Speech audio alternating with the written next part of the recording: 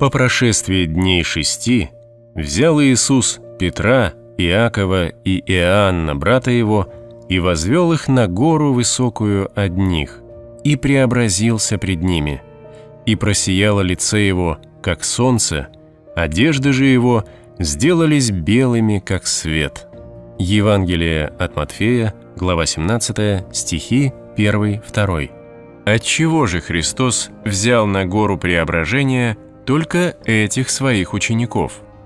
Причиной тому, утверждает преподобный Григорий Синаид, являлась особая благодать, которая почивала на них, и которой не были украшены другие ученики.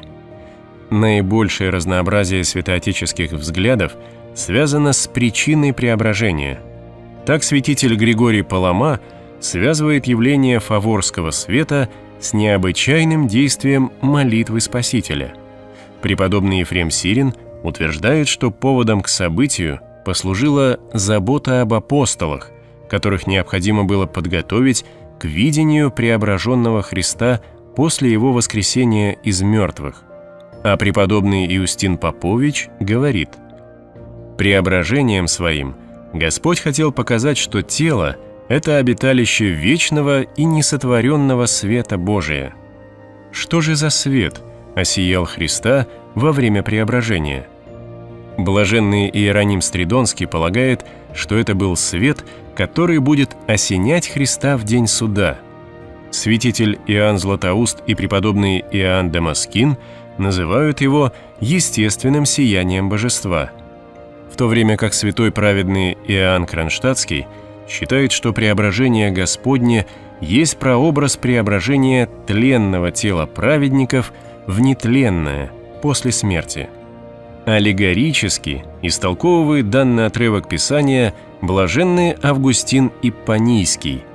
Иисус воссиял как солнце, демонстрируя, что Он – свет, просвещающий всякого человека, приходящего в этот мир – а его одежды – это его церковь. Апостол Матфей начинает описание преображения Иисуса Христа словами «по прошествии дней шести». Таким образом, евангелист указывает, что событие преображения стало продолжением бесед Христа и апостолов, в которых Господь стал впервые прямо говорить им о предстоящих страданиях. Вместе с Господом в момент преображения присутствовали не все его ученики, но лишь трое – Петр, Иаков и Иоанн. Самые важные моменты земной жизни Христа, как и во время молитвы в Гефсиманском саду, именно эти трое учеников были близ Господа, потому что превосходили прочих.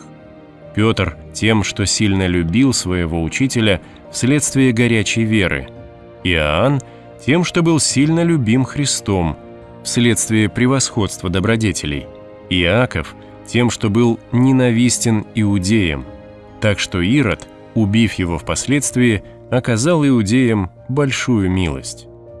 Евангелист Матфей, так же как евангелисты Марк и Лука, не указывает название горы, на которой Христос преобразился перед своими учениками. Древнее христианское предание – практически единогласно свидетельствует, что местом, на котором произошло чудо преображения Господа, была гора Фавор высотой 588 метров, которая находится в восточной части Изриельской долины, в Нижней Галилее. Стоит отметить, что традиция точного определения горы Фавор как место преображения складывалась постепенно. Апостол Петр – бывший свидетелем этого события, в своем послании также не приводит точного географического указания, но говорит лишь о том, что эти события произошли на Святой горе. Второе послание апостола Петра, глава 1, стих 18. Евсевий Кесарийский, прекрасный знаток географии Святой Земли, еще в начале IV века, около 330 года, находил возможным оставить вопрос об идентичности места преображения не вполне решенным. Так в толковании на стих из псалма «Север и юг ты сотворил, фавор и ермон о имени твоем радуются» Псалом 88 Евсевий писал следующее Я полагаю, что на этих горах произошли чудесные преображения Спасителя нашего. Начиная с середины IV века, мы уже находим достаточное количество свидетельств о том, что именно гора Фавор была местом преображения. Об этом писали Ориген, святитель Кирилл Иерусалимский и блаженный Иероним Стридонский. Интерес к этому месту не ослабевал с течением времени, и путешественники, посещавшие Святую Землю в конце VI – начале VII века, говорили о том, что на вершине горы Фавор были сооружены три церкви, соответственно, трем кущам, которые хотел построить апостол Петр. Игумен Даниил, автор знаменитого «Хождения в Святую Землю» XII века, приводит следующее описание Фаворской горы. «Богом поставлена она красиво, и высока очень, и велика. А на самом верху той горы, к северо-востоку, есть место высокое – как маленькая каменная островерхая горка. На том месте и преобразился Христос Бог наш. Преображение Господа именно на горной возвышенности не следует считать случайным. В Священном Писании как Ветхого, так и Нового Завета горы являются особым местом, в котором происходит встреча Бога и человека – Авраам, проявив готовность принести в жертву сына своего Исаака, встретился с Богом на горе. Исход, глава 3, стихи 1-2. Бог явился Моисею и говорил с ним из неопалимой купины на горе Хариф. Дарование закона Израилю через того же пророка произошло на горе Синай. Евангелисты указывают, что многие важные моменты жизни Иисуса Христа также происходят на горе. Иисус неоднократно удалялся на гору, чтобы провести время в молитве и одиночестве. Именно на горе Он отверг искушение сатаны. Преображение также не стало исключением и произошло среди горного пространства. Во время самого преображения внешний вид Господа Иисуса – радикально изменился. Евангелист Матфей использует для его описания слова «свет» и «солнце». Такое описание, уникальное по своей природе, продолжает при этом традицию священного писания Ветхого Завета.